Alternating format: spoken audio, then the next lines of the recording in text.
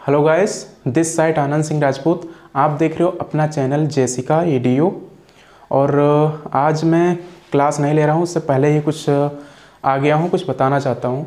ये सब मेरे स्टूडेंट के लिए है कि मुट्ठी में कुछ सपने लेकर, भर के जेबों में कुछ आशाएँ दिल में है अरमान यही, कुछ कर जाएँ, कुछ कर जाएँ।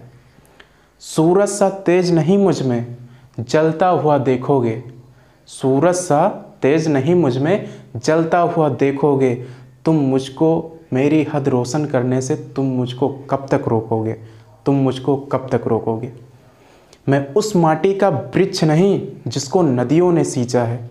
मैं उस माटी का वृक्ष नहीं जिसको नदियों ने सींचा है। बंजर पत्थर में रह के मैंने मृत्यु से जीवन खींचा है। मैं सागर से भी गहरा हूँ। तुम कब तक मुझे रोकोगे? मैं सागर से भी गहरा हूँ तुम मुझको कब तक रोकोगे? मिटने वाला नाम नहीं मैं तुम मुझको कब तक रोकोगे? तुम मुझको कब तक रोकोगे? सो so, इसी बात के साथ मैं और भी कुछ बताना चाहता हूँ जैसे कि जितने स्टूडेंट पढ़ते हैं इसमें जैसे कि नीट एस्पिरेंट हुए जेई मेंस के हुए कोई भी हैं सबसे पहले क्या आपके ऊपर बिलीव है? कि मैं इसको कर ले जाऊँगा? हाँ मानता हूँ कि फिजिक्स केमिस्ट्री बायो डर लगता है आपको। आई नो डैट डर सबको लगता है। लेकिन सबसे पहले आपको अपने ऊपर विश्वास होना चाहिए कि या, मैं कर सकता हूँ इसको। मैं सबसे पहले इसको कर सकता हूँ। और डेफिनेटली आपसे होगा। अगर आप में अगर ये अंदर से विश्वास आ गई डेफिनेटली आपसे होगा। I am hundred percent sure लेकिन सबसे पहले आपके ऊपर वो विश्वास होनी चाहिए। हाँ मैं इसको कर सकता हूँ। हार मत मानो कभी।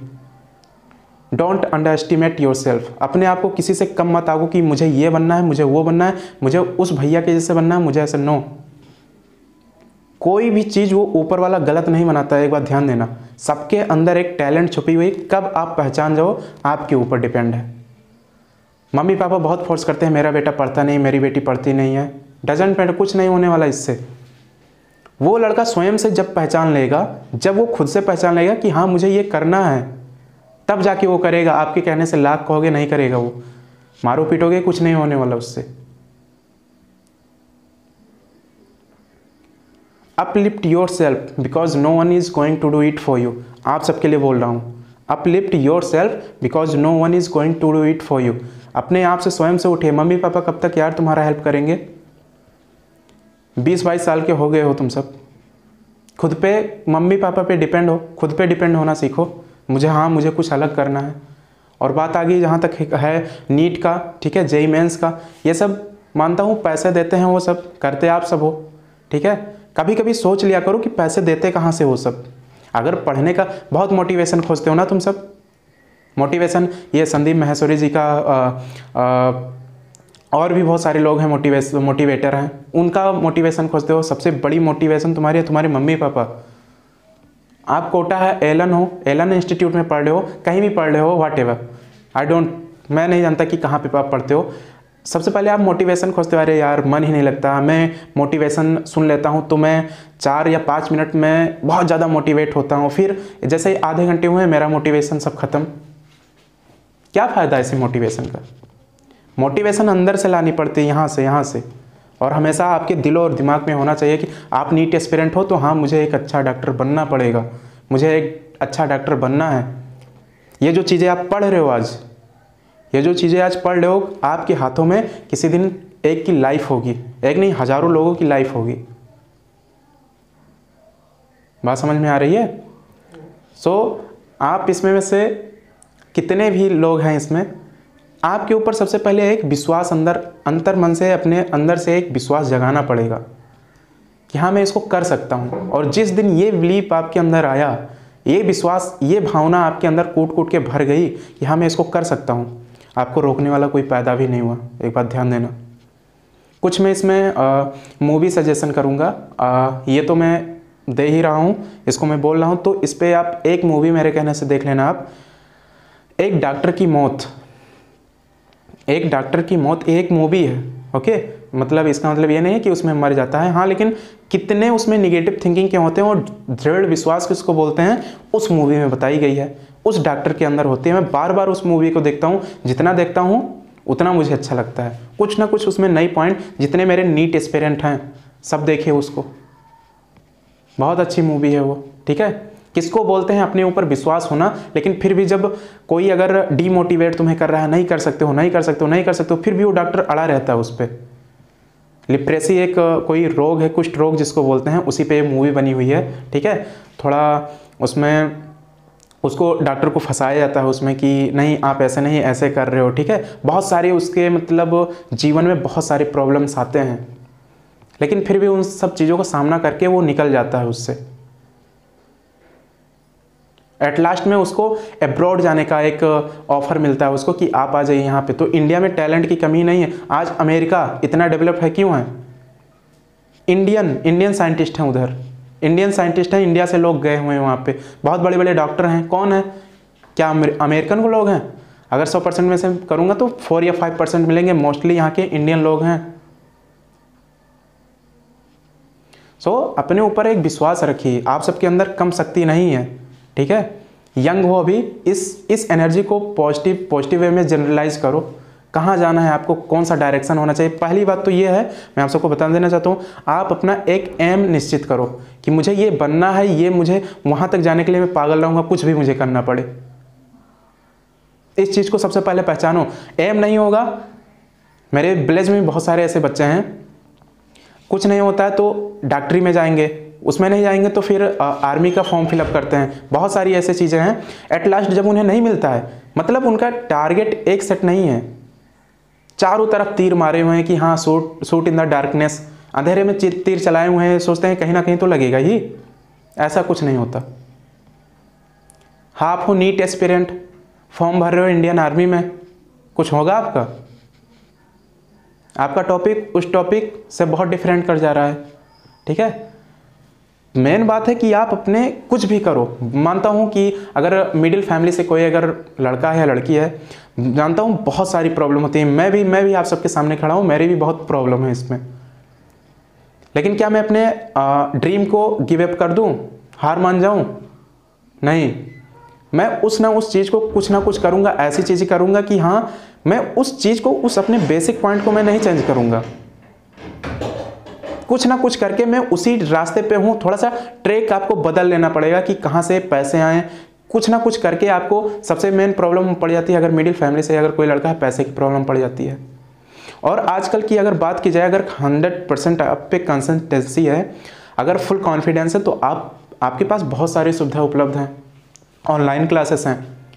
अब बात आती है सब्सक्रिप्शन की ऑनलाइन क्लासेस की। सब्सक्रिप्शन आपके आपके पास उतने पैसे नहीं हो रहे हैं। सबसे अच्छा है आपका यूट्यूब चैनल है। यूट्यूब पे क्या फ्री में नहीं देते हैं? उस पर एजुकेशन उस पर भी देते हैं। बहुत सारे लॉट्स ऑफ़ मैनी स्टूडेंट्स इससे ही क्रैक कर देते हैं नीट बात आ रही समझ में? अपने अंदर की चीज़ों को जानो। अपने अंदर की चीज़ों को अगर जान गए कि हाँ मैं मैं ये कर सकता हूँ। देखो, ऐसी बात नहीं होती कि सब कुछ सब कुछ स्टूडेंट ही करते हैं। सब कुछ आज आज आप सब क्या हो? आज भारत के आप भविष्य हो। आप भारत के भविष्य हो, इस चीज़ को जानो आप। सबसे बड़ी अगर पावर अगर पूछी जाएगी तो स्टूडेंट पावर है। अगर ये अगर अपने आप पे उतारा है ना, फिर कोई भी कोई भी इनको रोक नहीं सकता है। सबसे बड़ी पावर स्टूडेंट पावर होती है। दो चीज़ों से लड़ते हैं बच्चे ये।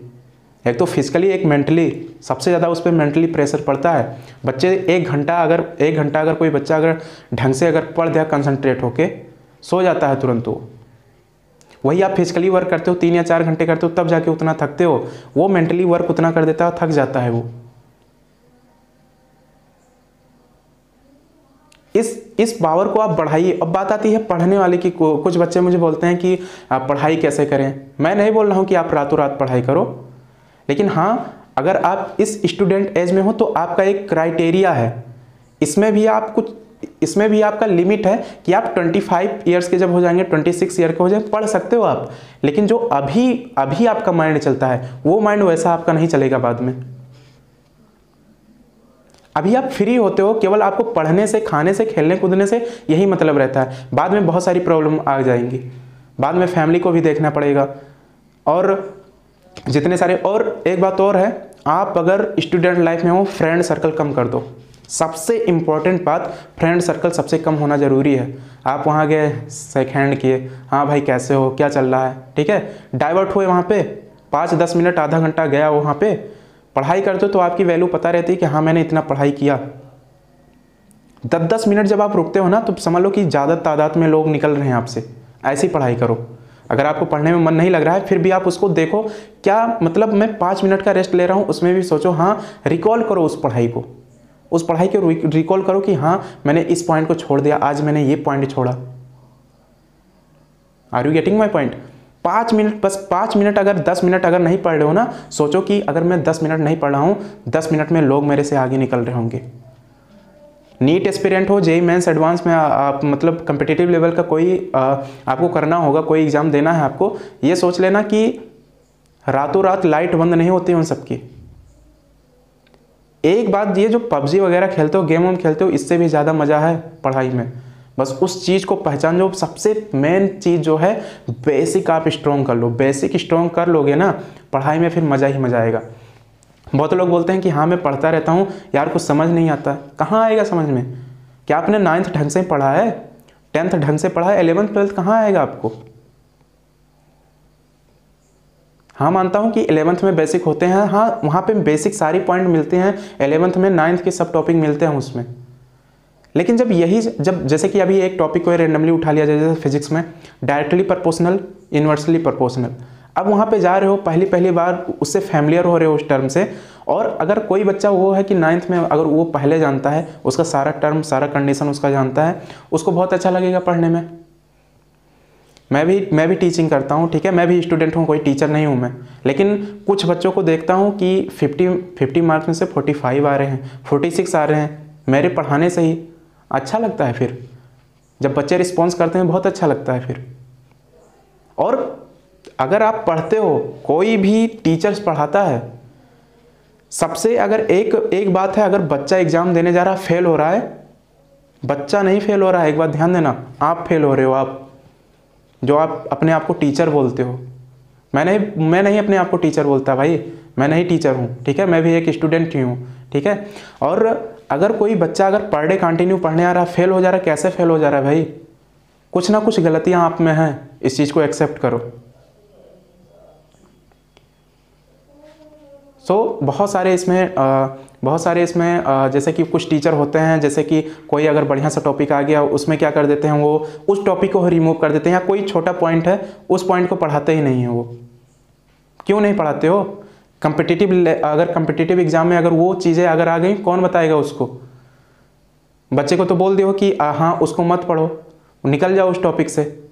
लेकिन अगर वही कम्पिटिटिव लेवल में अगर कंपटीशन लेवल का कोई बच्चा अगर एग्जामिनेशन उसमें आ गया एग्ज़ाम में आया उसके, कौन बताएगा उसको फिर?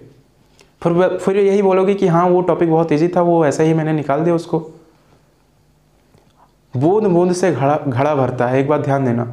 छोटी छोटी नॉलेज लीजिए, उसी चीज़ से एक, जैसे कि बहुत सारी तालाब होते हैं, बहुत सारी नदियाँ होती हैं, उन सब का पानी कहाँ एक समुद्र में जाके इकट्ठा होता है? तो वही मैंने बताऊँ, बूंद बूंद से घरा भरता है। एक नॉलेज लीजिए attend knowledge from lab to tomb मतलब जब से आप पैदा होते हैं ना, जब तक मरते रहते हैं, सीखते रहते हैं कुछ ना कुछ। कुछ ना कुछ ज़रूर सीखेंगे उसमें। और एक बात और होनी चाहिए, आप स्टूडेंट लाइफ में हो। अगर आप स्टूडेंट लाइफ में हो तो सबसे पहले आप एक चीज़ ज़रूर जानो। आपके अंदर एक, जैसे कि आपको भूख लगी रहती है, बहुत ज़्यादा भूख लगी रहती है ठीक है?